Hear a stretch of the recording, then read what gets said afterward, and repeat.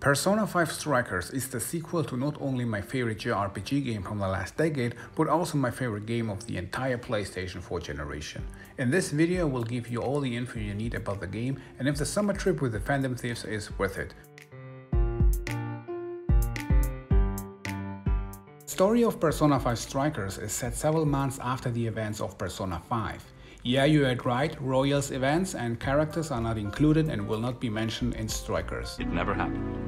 The game doesn't waste any time giving you any info about the events of Persona 5 or the characters. So if you never played any Persona game before, this might be the worst entry for you. You play again as the leader of the Phantom Thieves Joker who reunites with Morgana and the rest of the group to take off for a summer road trip across Japan. Just before that, Joker, Morgana and Ryuji travels by accident into the metaverse by saying randomly a keyword that let them discover a new threat. One of the so-called monarchs. The monarch steals desires from people and replaces them with their own selfish one. At the same time, the police discover strange activities in many different cities and blames the Phantom Thieves for that. Somewhat responsible for the new change of heart incidents is police officer Zenkichi Hasegawa. He pretty much crashes the reunion party of the Phantom Thieves and forces them to work together with police, otherwise Joker will end up in jail. So the group of our favorite thieves don't really have any other choice and combine their summer trip with the mission to free Japan from the monarchs. The Thieves working together with police. What could go wrong?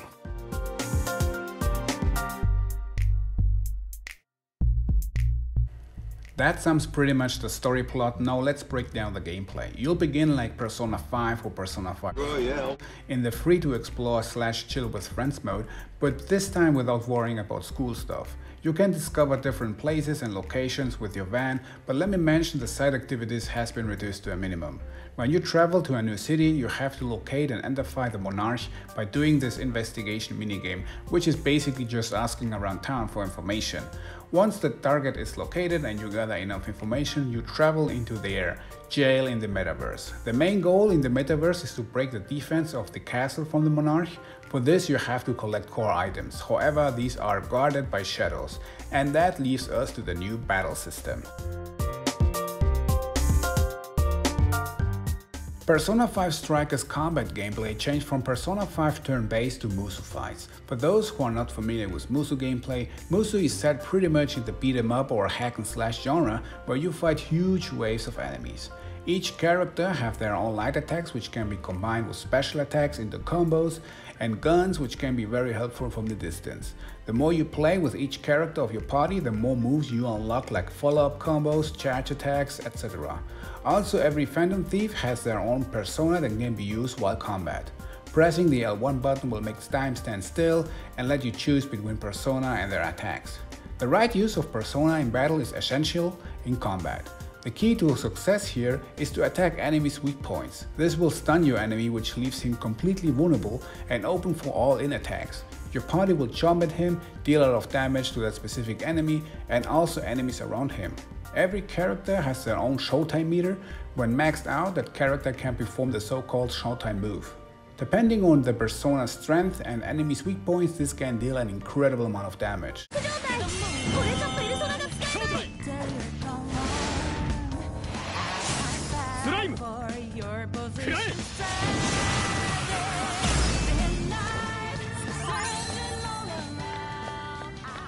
By the way, am I the only one that finds ironic that Yakuza is an RPG and Persona brawler game now? You can leave almost anytime the metaverse and come back at your own pace. Back in the real world, you can resupply or hang out with your friends in the city or in your van. The van, by the way, is HQ of the Phantom Thieves. It lets you enter the metaverse or Velvet Room. In the Velvet Room, you can fusionize personas together you collected in the metaverse to a stronger one for Joker, or use points to upgrade their skills.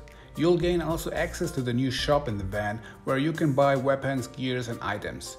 That unfortunately means you will not see the coolest NPCs from Persona 5 in Strikers again. I have to be very honest, I was never a big fan of Musou games like Kessen, One Piece Pirate Warriors, Hyrule Warriors, or that other franchise which has 9 games in total and has been mentioned in literally every review, but Persona 5 Strikers does here a very good job by adding variety to fights, for example letting you use the environment and personas which makes the battles consistently fun, and while doing so, the game still keeps the unique Persona 5 charm. The new edit soundtrack is incredible. Overall, it's fun to play. You'll need many many hours to get used to that though. No, let me mention a couple of points I didn't enjoy that very much. This might be complaining in high standards, but definitely worth mentioning here. Let's begin with the overall UI. You have hints and mission objectives on the top right, this gigantic minimap beneath, energy bar your current player, your squad. Overall this information could have been placed more discreetly or removed completely. It takes almost the whole screen. The problem of that is that the battles are crazy enough with even more information. I mean you get weaknesses, critical hits point indicators in the screen and of course these are information that you need, but everything buries locations of enemies and makes you lose orientation during combat. I found myself occasionally just spamming persona attacks because I had no clue what is going on right now. The biggest problem is here the camera during battles. It's your worst enemy in this game. Even if you change the speed to the highest settings, it cannot keep up. Since you fight waves of enemies, you need to change the camera very quick and place it in different angles, but you won't be able to do that in time, which will make you get hit constantly by enemies behind you. Sure, you can escape from that situation, reset the camera and then attack again, but because there are literally enemies everywhere, you have to do that while dodging at enemy attacks or magic spells. It's a pain in the ass. Speaking of, there is this thing with conversations, that might be just my opinion, but like in Persona 5, every time you sit down with the group, sooner or later you will pick different kind of answers to different kind of questions. However, I hate to say it, but nobody actually cares what Joker answers or has to say. You can pretty much just agree on something. If you disagree, you immediately get told that it's too late now to say something like that or that we don't have any other choice.